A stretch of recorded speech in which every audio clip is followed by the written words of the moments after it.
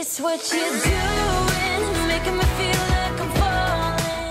guys, today we're doing something a little bit different. I am going to be sculpting things from clay. On Instant Influencer, there was an episode about sculpting things from clay. And I was also talking to my friend Joseph from the show, and he thought it would be really cool if we did a collaboration video on that topic. So Joseph will also be posting a collab video on his channel, and I will link it below. I really don't have much experience with clay. I have one, no, two videos. I did one video on Baby Yoda a really long time ago, and then I also did a clay Christmas ornament video last Christmas, and that is pretty much the extent of my clay experience on YouTube. I know nothing about clay, is what I'm telling you. One of the main reasons I kind of hate clay, I am like really weak. Case in point. I'm not very strong. It hurts my hands. And maybe I'm just like the weakest person on earth, but there has to be someone else that is feeling like they are too weak to use clay. I, I don't know. I don't know. What am- I'm getting on a rant. Let's get started with this video and see what I can come up with. Okay, so I'm taking out my clay tools. There are a bunch of things that I have barely used. I actually purchased these tools for a sculpting course in college, which I then had to drop because I couldn't fit it with my engineering courses. I don't know what any of this is. An egg? Unclear. Someone commented what the sponge was for a while ago and I forgot. I also have this very long marshmallow skewer that I'm going to be cutting for, well, something that I did not use. These came with fake succulents from the Dollar Tree, and I thought I would use it for this clay until I realized my clay has to be baked. That is plastic. Plastic melts. Please ignore this. The wooden dowel is freed and it's time to take out my clay. This is a pencil case full of clay with a glossy sculpey thing. Not sure what it's called. I'm starting off with this white piece of clay and I'm creating the inside to, well, probably the most difficult thing I could possibly create as a beginner. More on that later. The clay was extremely tough to work with, and by the end of the video, my palms felt like they had been bruised. Despite my apparent lack in strength, I was able to knead each of these colors into clay that was mushy enough to use. Back to the pink, and we're dividing it into a bunch of tiny spheres. I took my wooden marshmallow skewer from earlier and stuck it in the center, and I am going to be creating a bunch of flower petals. More specifically, rose petals. My method for creating the petals was to take the ball, mush it against my palm, kind of mush it to the left, mush it to the right, and then roll it out with the wooden dowel. Sometimes I would flip the petal over and repeat this process until I had something that looked like a rose petal. So you might be asking yourself, Marissa, why create the most difficult thing possible when you are a beginner at clay and you hate it? Well, Jan, I have two answers for you. The first reason I decided to make a rose out of clay is because on Instant Influencer episode 1, I created a flower out of construction paper, and I got a lot of comments asking me how I made that flower. The truth is, that process for creating the construction paper flower, the one from Instant Influencer, is extremely similar to the process for creating this clay flower. The main difference between the two are the petals. The petals on Instant Influencer were cut out from construction paper, and the petals here are molded from clay.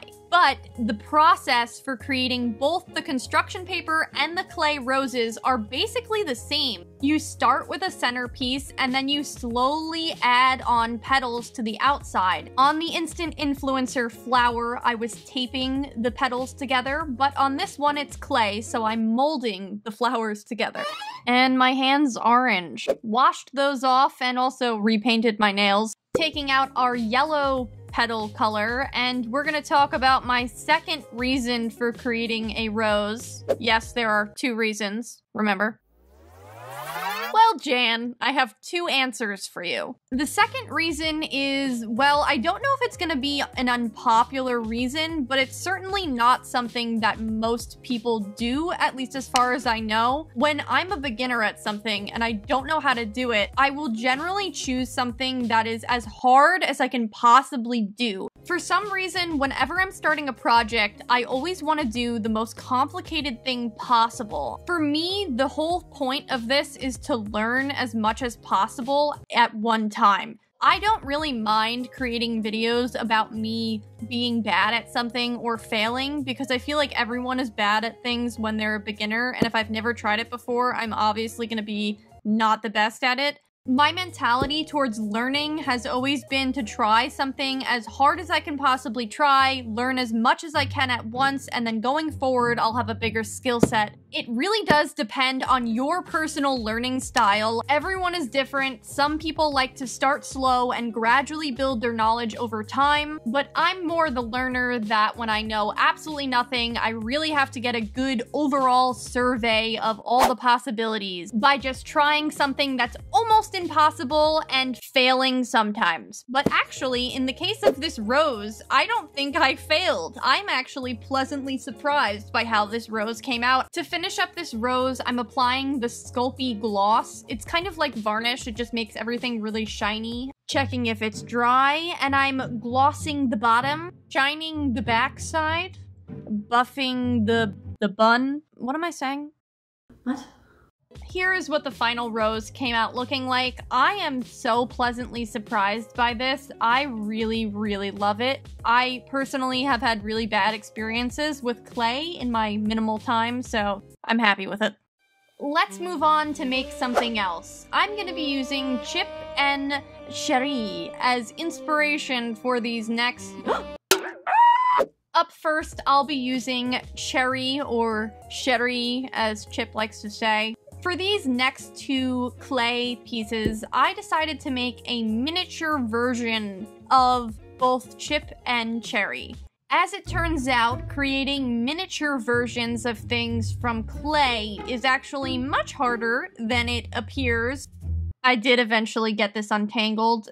It's so hard to create little tiny mini pieces of clay. I almost feel like it would have been easier if I made these things life-sized. Mm, although I would have definitely run out of clay and my oven is not big enough. And now I will show you the minimal knowledge I have of clay. I know you make a diamond and you cut it in half, and that is how you get two ears. I learned that from watching some YouTube videos. I also know that you should do this to the clay so it sticks together. I learned that from my three weeks of college where I took a sculpture class that I then had to drop because I had too many math classes. I had to create this swirly thing in a smaller form so it actually fit against this miniature berry tart. I'm rolling out a cylinder for the arms. I cut it in half and attached it. I also attached the two little triangle ears and used this tool, which I don't think it's the correct tool, to smooth it out. Notice that Cherry has a bunch of berries around her, so I am rolling those out. It's kind of like rolling a booger. Look at all these boogers.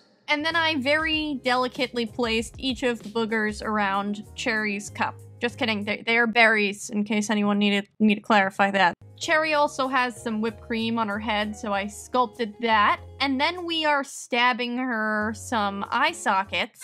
Oh my god! Most of these tools look quite dangerous, if we're if we're actually being honest. They look like shivs and knives. I tried my best to sculpt her a face. Kind of looks like she has a mustache now, but that's okay. She's going in. I burned her to a crisp. Have I ever told you how much I love my oven? We're losing her. Claire, we're losing her. Sherry, listen to me. What? I have a very rainbow sparkly plate. Honestly, we did not have any other plates in my house. I don't know who did this. I'm painting Cherry with a blue color on her body and a tan color for her tart. I used two Posca paint pens to color in the berries, as well as a red Posca paint pen for the cherry drips around her tart. I also used Posca paint pens for the face and for the little hearts on the ears. I tried my best to create Cherry's eyeliner. It turned out a little wonky, but I did my best. And this is what her face turned out like. It's so hard to get details on something so small, so I was really happy with this. But then I added the gloss. It smeared. oh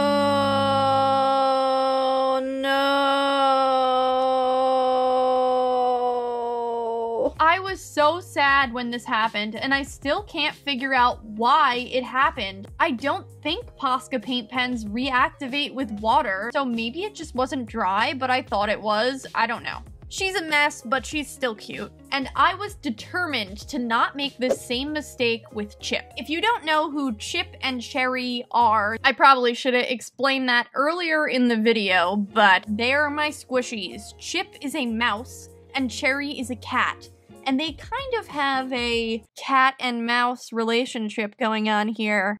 Get it?